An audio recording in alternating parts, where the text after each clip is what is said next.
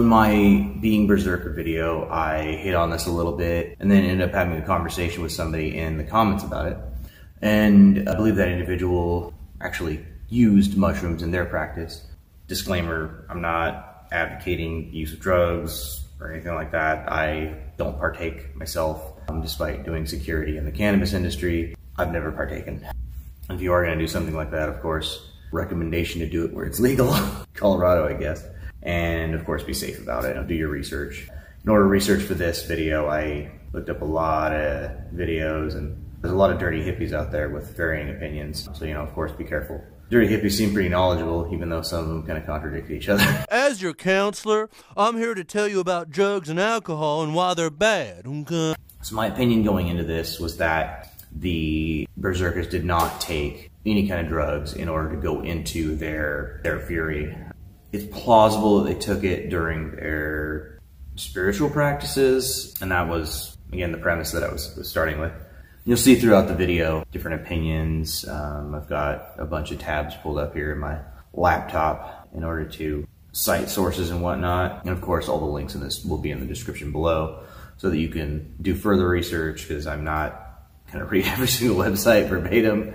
And if you want to, you can uh, look up stuff in your free time. And I mean, there's there's a ton of stuff as you'll come to find out. So one of the reasons I'm doing this is there's not one, there's not enough Berserker videos out there. It's something people are highly interested in, but there's just not a lot of information out there. There's a lot of misinformation out there. A few of the videos that I'll put in the description, uh, there's one by Lindybeige, who I vehemently disagree with, at least in this video. He's got a, a bunch of other pretty good uh, videos on historical accuracy and whatnot including a really funny one about an old Troy movie. But he is very adamant in his video that the Berserker used mushrooms, and that was like the entirety of his video. And I was like, and then Skallagrim uh, actually has a pretty decent video on it if you're unfamiliar with him, which is kind of doubtful seeing as he's got over a million followers. But he he does uh, a lot of like sword videos and stuff, um, as well as historical accuracy videos. But and he actually mentions um, the first individual that I'm going to talk about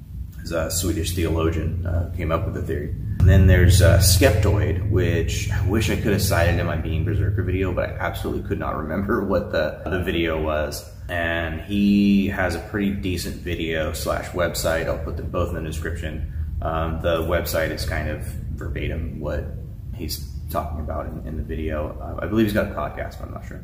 Yeah, he mentions, and I'll, I'll go over it in a little bit, what you know he, he believes is actually the cause of um, the Berserkergang, the Gungar, the, the, the Berserker Fury. And then of course, uh, Jackson Crawford is always a good source, and I'll also put his video about it down there. We'll kind of get to the, the content of those last two as I'm as I'm talking. So Samuel Odman, Samuel Lawrence Odman, was the guy that came up with this theory. He was a theologian. He became a professor of theology at Uppsala University in 1799 and served, among other things, as inspector of four student nations. And it goes over the nations, not that that's relevant to us at all. Um, his father was a priest, and so was his grandfather. And I guess when he was about a year old, he was actually sent to live with his grandfather. Um, so heavy Christian background. And he he made this same mistake that Snorri Sturluson did when he equated the Aesir to Asia. It says on the Skeptoid site, how could ordinary men become so supernaturally vicious? Most modern explanations for Berserkergang invoke the hallucinogenic fly agaric. Uh, the reason it's called fly agaric is because apparently a way to kill flies is to literally put it in milk, and I guess flies land on it and drink the thing and die because it's a toxic mushroom. Amanita muscaria. I find this a poor theory for three reasons. First, we should discuss Berserkergang and the sagas, uh, which he does. It was suggested by the Swedish theologian Samuel Odman in 1784 based on stories about Siberian shamans using it for visions. There was never anything to connect the mushrooms to the Vikings or to any behavior similar to Berserkergang. It is theory devoid of evidence, plausibility, yet it remains most often repeated. He made the mistake of the false etymology of thinking the Aesir and Asia came from the same root.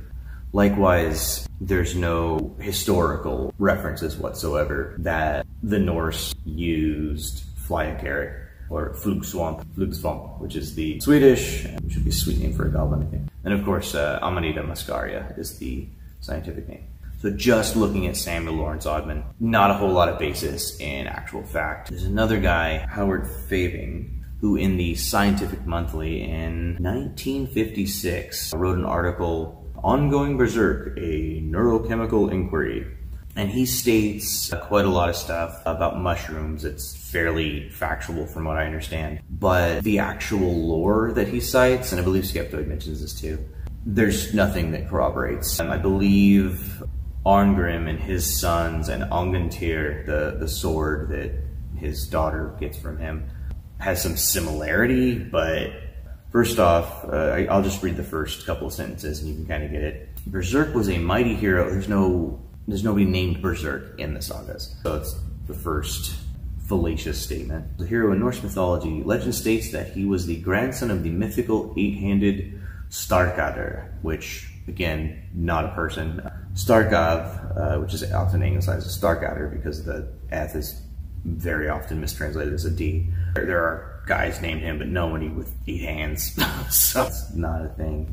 He was renowned for his bravery, and for the fury of his attack in battle. So just from those first couple of lines, you get that he's not very well versed in the actual lore itself. He's just possibly going off of Samuel Odman's theories as well. Then if you go into the side effects of the actual drug, the mushroom, it can cause like rage, but it also causes, and I believe it depends on how you prepare it. Back in the day, in order to get rid of a lot of these side effects, you would have literally had to drink piss but some of the side effects are diarrhea, sweating, vertigo, and sedation. It can make you tired.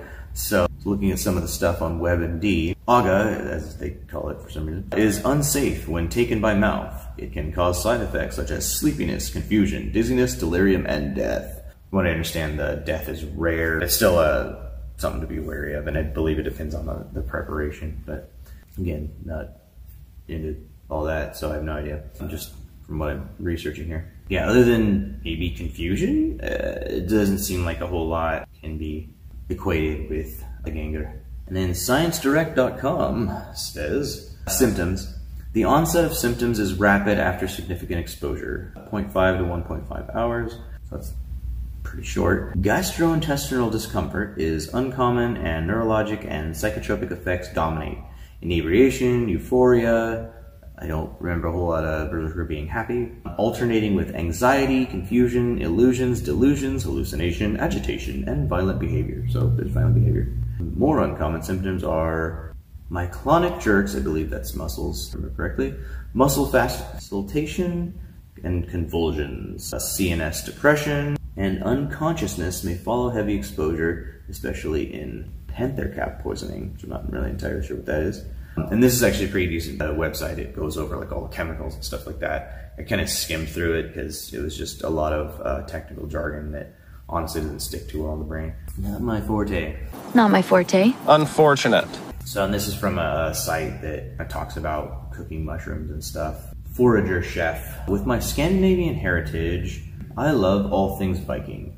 When I was in high school, I remember hearing talk about Viking warriors ingesting hallucinogenic mushrooms before entering battle, which at the time I assumed must be psilocybin containing mushrooms. These are your typical shrooms. Apparently, the Amanita muscaria has uh, in it and not the psilocybin, so it's a little bit different than like your regular Grateful Dead mushrooms. R.G. Wasson claims they were eating mushrooms. I'm not sure that. This would seem to make sense since eating can give a person vastly increased strength and a feeling of fearlessness so it is said, imagining a Viking berserker charging at you high as a giraffe, but it's quite a thought. Which again, the direct ingestion is actually the worst way to ingest it, from what I understand. The most toxic, the most lethal. That's that's where you're going to have the most issues, like, without any treatment whatsoever to the the mushroom before ingestion. You're going to feel the full effects of the diarrhea and the vomiting and all that stuff. And this is a quote. It looks like from Soma, divine mushroom of immortality. No one who discusses the fly agaric in Europe can ignore the debate that has been carried on for almost two centuries in Scandinavia on this issue. So, this video was not the beginning, nor will it be the end. uh, first Samuel Odman in 1784, and then Frederick Christian Schubler In 1886, propounded the thesis that these Viking warriors known as berserks ate the fly agaric before they went berserk. In short, that berserk raging was deliberately caused by the ingestion of our spotted amanita. So these theories are coming out way later by Christians, which always makes me wary because Christians didn't see pagans in a positive light, so why not claim that they did drugs, right?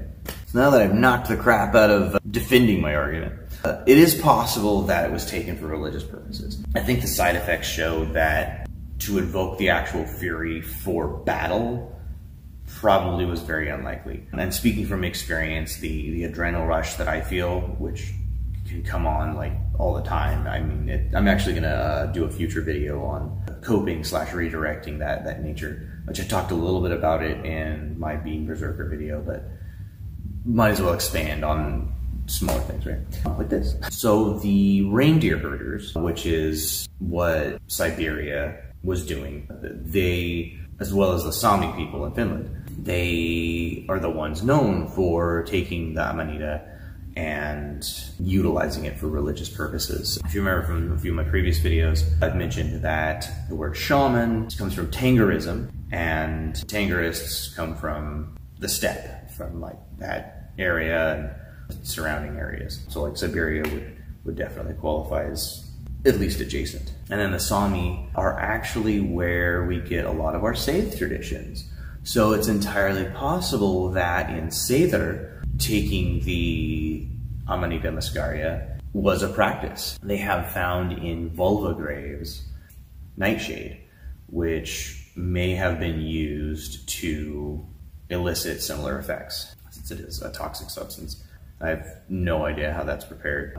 So, you know, again, if that's your get down, please be safe about it, including legally safe. So somebody that expands on that idea, and if you follow Joe Rogan at all, because he talks about mushrooms like all the time. How many species of mushrooms are there? At 21, yeah. how could you not allow them to take mushrooms too? To wear a mushroom hat. Have you ever read any Terence McKenna? I know you're familiar with something called the stoned ape theory. No. Sorry, not. McKenna was a he was a, an ethnobotanist and he was also a psychedelic adventurer and he had a theory and the theory was that the what you're talking about, this ch- climate change, uh, that also coincided with the doubling of the human brain size.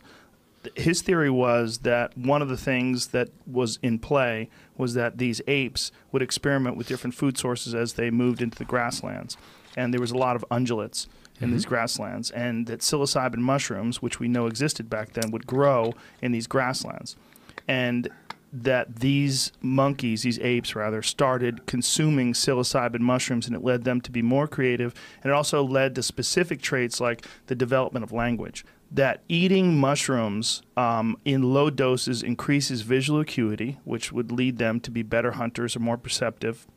It also leads them to be hornier, which would uh, most likely involve more breeding, more sexual activity, and possibly select the, the ones that chose the, the mushrooms would maybe possibly breed more than the ones that didn't choose the mushrooms because they were more into it, they were more social, more uh, sexually active.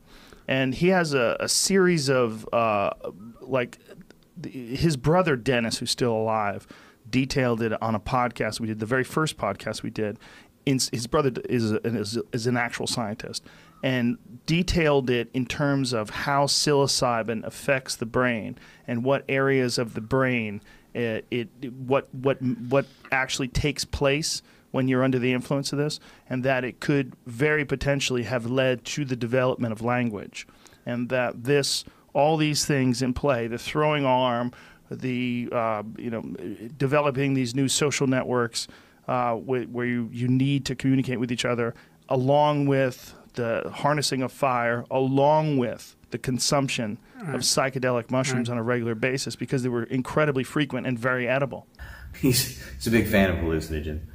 There's a book created by a fairly interesting individual, John M. Allegro. Uh, he started out as a Christian and eventually became agnostic he was actually one of the guys that was deciphering the Dead Sea Scrolls, and he ended up having a falling out with some of them. I'll read from his Wikipedia to kind of clarify that. As early as 1956, Allegro held controversial views regarding the content of the scrolls, stating in Later to de Vaux, It's a pity that you and your friends cannot conceive of anything written about Christianity without trying to grind some ecclesiastical or non ecclesiastical acts. The bulk of his work on the Dead Sea Scrolls was done by 1960, and he was at odds with his Scrolls colleagues when a conflict broke out with H. H. Rowley concerning Allegro's interpretation of the Scrolls. Allegro, on the invitation of F. F. Bruce, moved from the Department of Near East Studies to the Facility of Arts at Manchester to the Facility of Theology. It was during his stay in theology that he wrote his controversial book, The Sacred Mushroom and the Cross. That's the big one where he equates the mushroom to Santa Claus and all that. Whose subtitle was A Study on the Nature and Origins of Christianity within the fertility cults of the ancient Near East. Apparently, realizing the impact of his, his book would have, Allegro resigned from his post at Manchester. So he's an interesting individual who goes from being like super Christian to agnostic because of the knowledge that he got. And I'll put a link to the book uh, in the description as well.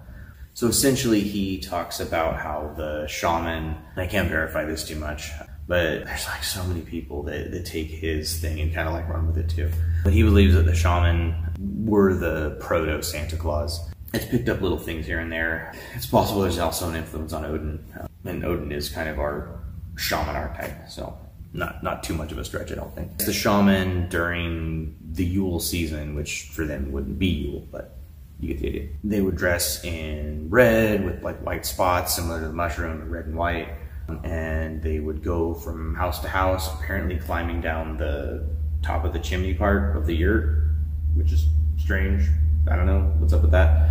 I did so much research on this already, so uh, I'm, I'm sure I'll do more. And who knows, maybe a year from now I'll update a video on this. But they would give out the mushrooms and they would get food in return. Uh, so a lot of similarities to Santa Claus, and then obviously the association with the reindeer. Apparently, if you're doing the mushroom out in reindeer area because the urine has the effects of the mushrooms, the reindeer will like knock you over just to get at your mushroom pee. That's something to watch out for if, if you decide to do that. And there's actually a thing on the U.S. Forest Service website that talks about fly agaric's influence on modern midwinter and Christmas celebrations. And I mean, essentially just goes over what I said. Yeah, it's pretty funny that his book has been has been that influential that a government website would put it on there. I have no idea if they're trying to warn people or sell them on it. Whatever. Here's a quote from Fabing that kind of equates with Odin and, and the Flugsvamp. What in particular seems to me to argue for Flugsvamp, the delightful Swedish name for fly is the fact that to partake of it is a custom from part of Asia from which the pagan god Odin, with his pantheon, made their migration uh, to our north. The history of the Berserks in the north begins with Odin's coming, which again is because of the etymological mistranslation. I think Fabing is probably just a terrible source because he just didn't really know the history. I mean, it's not like Google was a thing back then, but I would hope that somebody in the scientific community even in the 50s, would have access to better information. But, you know, what do you do? Uh, so here's a quote on, I can only assume is a Dirty Hippies blog. Andy Letcher. Again, I'll put that in the thing below. This is about the Sami specifically. He said, This week I made my annual visit to Abbots Bromley Horn Dance, and there I met a reindeer herder and with herds in both Britain and Scandinavia. We got chatting, and I asked him whether it was true that the reindeer have a taste for human urine. Quite true. They'll lap it up in the snow, and then, unprompted, he told me the following story.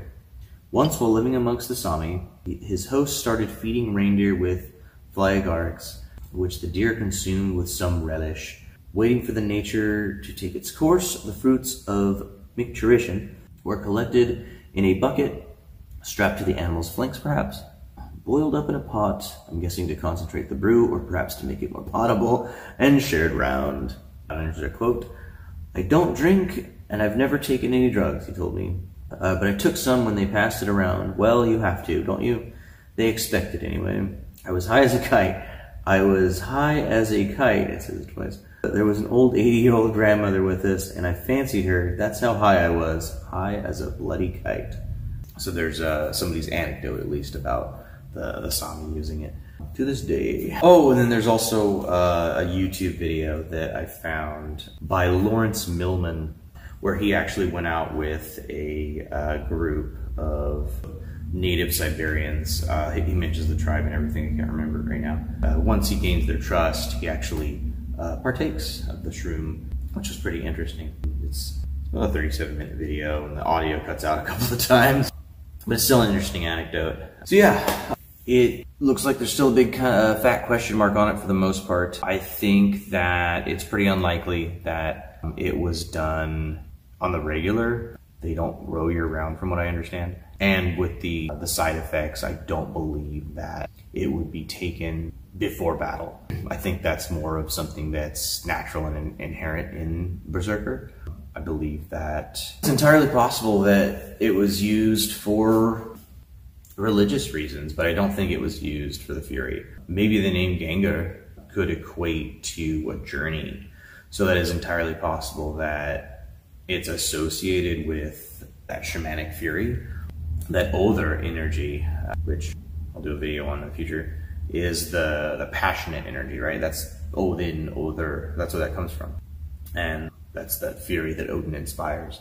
So it's entirely possible that it was a religious practice. But again, it's kind of one of those things where you have to make a personal decision on whether you believe it or not. It's definitely kind of got a big question mark on it. So yeah, while it's not something that I believe is conducive to battle, um, it's entirely possible that it was taken for religious reasons. And I don't think it's necessary, honestly. If it's part of your path, it's part of your path. As per usual, uh, like, subscribe, comment, do the thing. Apparently I was wrong about needing 4,000 minutes to get monetized. Apparently it's 4,000 watched hours. So maybe in a couple of years I'll be monetized. I have no idea.